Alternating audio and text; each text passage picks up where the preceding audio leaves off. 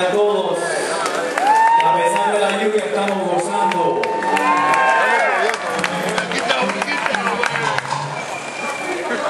Get the mics right. Thank you for being out here with us tonight. You are certainly brave. Bravos de verdad.